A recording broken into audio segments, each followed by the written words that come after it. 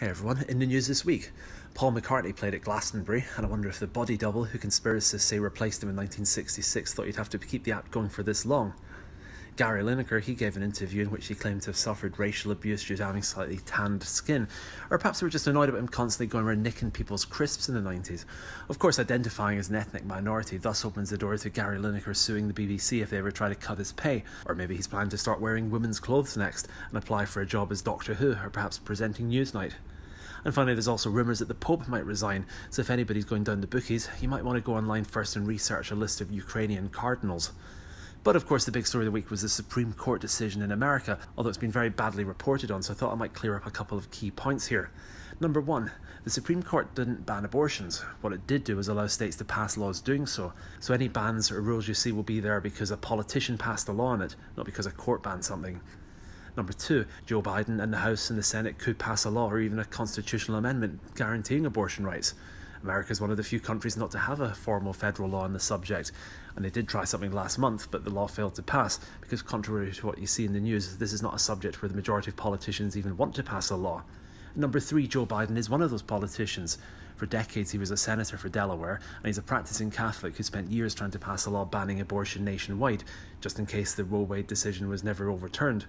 If Joe Biden ever enthusiastically backs a new law, it would be like watching Prince Charles campaigning on behalf of McDonald's or putting Katie Price in charge of the MCC. Actually, that wouldn't be a bad idea. At least she'd struggle when it came to inventing new bastardized versions of cricket. Anyway, number four, one of the world leaders to condemn the vote was Emmanuel Macron, saying that the US should be more like France, which is funny because until last week, France had stricter abortion rules than Mississippi. Indeed, with a 14 week limit, France has some of the strictest abortion laws in the Western world. Number five, in contrast, a lot of US states have no time limit and allow abortions well into the ninth month of pregnancy with no reason even needing to be given. We're not talking about cases involving disability or the mother's life being at risk here. We're talking about lifestyle abortions days before a baby's due date with no reason being given. No other country in the world does that. And going further still, California and Maryland currently have proposed laws working their way through the state legislatures that would allow abortions up to seven days after birth. That's euthanasia, not abortion. And the reason that abortion is in the news is largely because the pro choice side of this debate has become so ludicrously extreme and polarising that many normal people see banning it entirely as the preferred option if you have to pick a side. If that makes life like the handmaid's tale, then so be it. It's probably a lot better than living in Logan's Run or Soylent Green. Number six, there's a huge irony here that the subjects being discussed are women's rights and bodily autonomy. Justin Trudeau took to Twitter to emphasise to women that it's your body, your decision, and the government should have no say in the matter, having just spent the last two years trying to jail people who said that exact same thing when it came to COVID. Similarly, people have had their careers destroyed for saying that women's rights are even a thing, or that only women can become pregnant. Now, men are supposed to say out of things though and not get involved in issues that don't affect them. According to the more vocal parts of the internet, anyone could give birth to a child, regardless of gender. Prince Andrew or Bill Clinton could get pregnant if they wanted, apparently, and if they convinced enough woke people to believe them. So maybe they should have just as much say in the subject of abortion as some of those teenage girls who were trafficked to the island. Or maybe this is madness.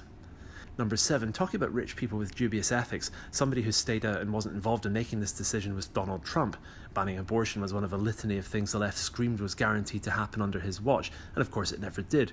Although it did when Joe Biden came into power. Same with the economy imploding, or trying to ban freedom of movement, or journalists being blacklisted for their beliefs, or Russia being emboldened into starting a war with no fear of US reprisals.